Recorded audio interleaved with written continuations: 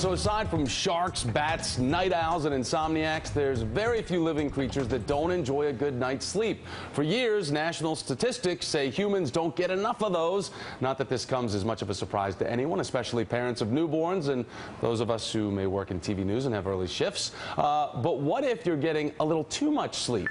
And how much is too much? According to the CDC, seven to nine hours is the norm, but some sleep experts say too much snooze and you could lose years off of your life. One such expert is Dr. Matthew Edlund. He is the author of the book, The Power of Rest, and he joins us now to talk about this. Doctor, it's good to have you with me. The story is the uh, other side of the national extreme, many would say. Uh, most say we're sleep deprived. Now we have this issue of too much sleep. So doesn't one feed off the other, though? Yep. There is such a thing as too much of a good thing. Uh, when we talk about, for argument's sake, let's say that you're a person who isn't getting enough sleep uh, and you're getting maybe two or three, four hours a night. You decide, okay, I'm going to catch up this weekend, take 12 hours. Uh, are you actually doing more damage by crashing for those longer periods of time? Not if you do it temporarily. The whole question is how much rest does somebody need? Rest is regeneration. And when people are sleeping too long, the real question is are they sleeping that way because they're underlyingly sick? Mm -hmm. Is there mm-hmm. something else that's causing them to have trouble? Uh, do they have underlying heart disease? Do they have underlying uh, problems with their blood vessels? And much of the time the answer is yes. Uh, so it's not so much. Yeah.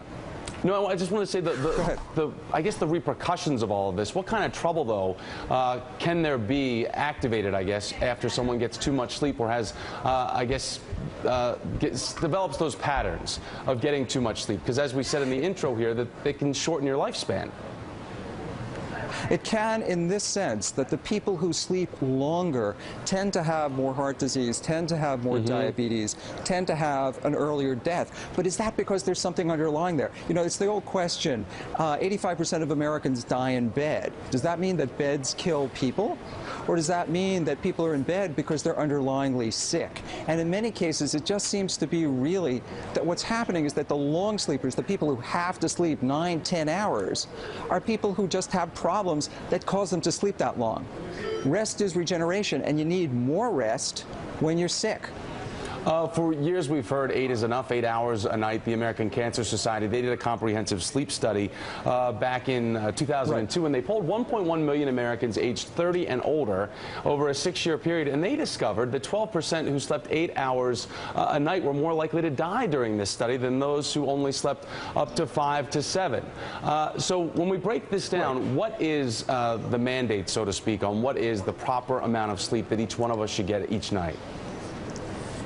Everybody has their own sleep need. There are some people who do fine on three hours. There are some people who need nine. Most of the population needs seven to eight. And when people start getting more than eight hours, especially when they start getting eight and a half, nine, nine and a half hours, usually there's an underlying problem. There may be atherosclerosis. There mm -hmm. may be mm-hmm. diabetes. There may be an underlying sleep disorder. And that's why they're sleeping long. So a lot of people will sleep long on the weekends and they're saying, oh my gosh, if I have to sleep more than eight hours, is that bad for me? No, that's recovery sleep sleep. This is only for people who really sleep long a large part of their lives. Your book is called The Power of Rest. Dr. Matthew Edlund. thank you, doctor, for coming on. We appreciate it. I hope everyone rests well today. Me too. All right, thank you, sir. All right, so what every